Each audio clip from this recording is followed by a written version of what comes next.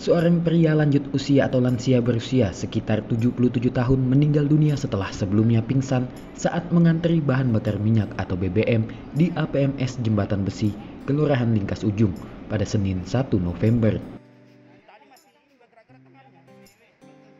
Kasih Ketenteraman dan Ketertiban Umum Kelurahan Lingkas Ujung, Hasriansyah mengatakan, Sebelum pingsan dan dinyatakan meninggal dunia, pria bernama Abdul Ghani tersebut sedang membawa jerigen mengantri membeli BBM di APMS tersebut.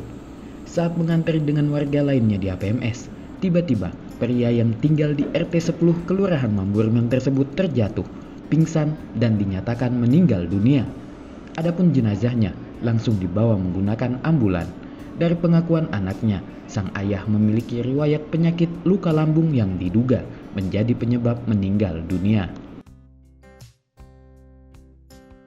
Jam jam 9 lewat gitu Jadi kronologisnya dia kan membawa jerigen gitu juga antrian antrian gitu kan. Tiba-tiba dia mungkin karena ada penyakitnya luka lambung. Jadi tiba-tiba dia pingsan pingsan pingsan akhirnya tidak sadarkan diri. Keterangan dari anunya uh, Pak Sulian Sulisiansa anaknya. Suliansa. Dia ada riwayat uh, sakit lambung luka lambung jadi